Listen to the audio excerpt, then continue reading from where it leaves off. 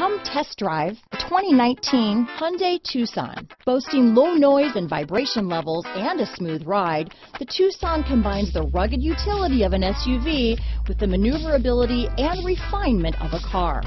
With its spacious interior, small never felt so big.